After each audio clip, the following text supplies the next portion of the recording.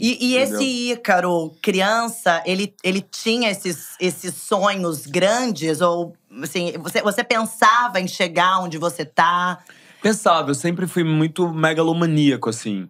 É, mas eu sempre pensei de uma forma muito mais lúdica e glamurosa nisso, né? Ah. Porque eu acho que essa é uma das coisas super interessantes da nossa profissão que o público não acessa, que não é glamuroso, né, gente?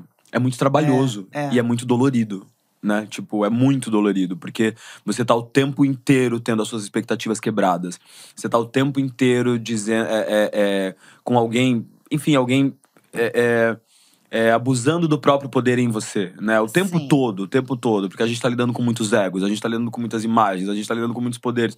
Então é trabalhoso, é muito difícil, assim, né? Você E, querer ser e artista. é um trabalho muito interno também. É por isso que as Também. pessoas às vezes não acessam, né? Porque só vem o lado Exato. dos looks, o lado do, do filme pronto, a novela É passando, né?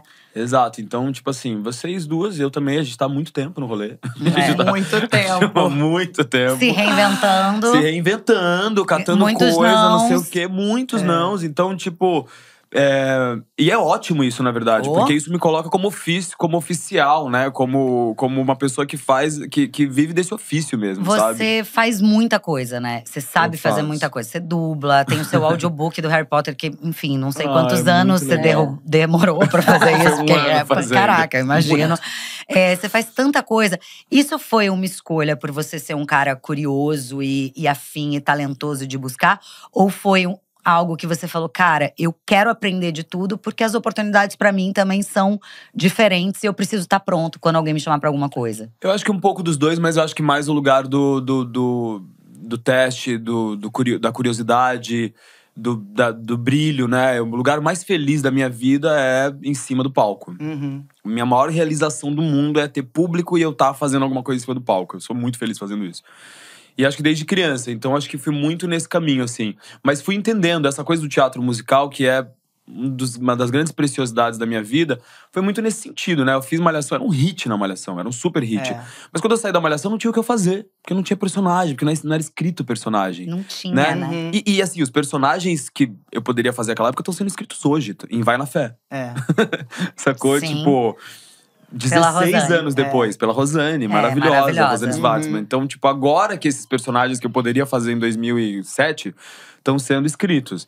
Então, eu fui é, pros lugares onde o meu talento era, era fundamental, era necessário. E mesmo Sabe? tendo o talento que você tem, não tinha espaço e oportunidade Não. como para meninos menos talentosos, E só que brancos. É, né? só que brancos, amor. É, é só, tipo assim, a gente não precisa nem falar. Eu posso falar dos meninos todos que são muito talentosos. Tipo, o Chay, o Johnny, o, o Gabriel Leone, o Felipe Simas, o Rodrigo Simas, o Bruno Que é a galera da Aham. sua idade. Tipo, que a galera da minha idade, todos eles, todos esses meninos que eu falei aqui começaram depois de mim, mas todos eles já protagonizaram novela, todos eles já protagonizaram filmes, todos eles já foram capa de revista, todos eles fizeram tudo. Entendeu? Que são as coisas que eu tô ralando agora pra Todos continuar eles fazendo. ganharam mais grana. Muito mais. É, publicidade, capas de, de revista, É, Capricho, por exemplo. Uhum. Ess- essas coisas que, que dão um status ao, ao artista, né? Exato. É, você lembra que quando é a gente fazia a importante pra malhação? se manter, né? É isso, e é, então assim, eu fui. O que eu acho bonito, assim, né? Claro que eu, eu adoraria que a minha carreira pudesse ter sido simples, né? Enfim, é claro que a gente não pode falar pela carreira dos outros, mas eu adoraria que tivesse sido mais simples, como vários artistas que só. Só sabe, existem, tá só fa- muito fazem. talentoso ali fazendo, bota ele na novela, óbvio, entendeu? Uhum, Tipo, é. né? Você pensar que, mano, eu saí da Malhação 2007, a, a novela que eu fiz depois, que foi Joia Rara com você, Comigo, foi 2014. é, é. tipo, Meu Deus! Sete é, anos sete depois. anos, sem- E nesses sete anos, então, e nesses sete anos Você- eu fui desenvolver o que eu amava, né? Que é estar no teatro, que é estar no palco, que é cantar. Então eu fui fazer teatro musical e deu muito certo a minha carreira no teatro musical, né? sempre cantou? Sempre cantei, desde pequeno, mas hoje eu entendo que cantar é muito mais. É, é muito mais técnico do que eu achava. Eu era muito intuitivo. Ah, eu nasci. com- Não, não nasci Eu com nasci dom. com eu dom, aprendi muito sim. a cantar. Eu aprendi muito e eu acho. Hoje eu digo com uma certa audácia que qualquer pessoa pode cantar.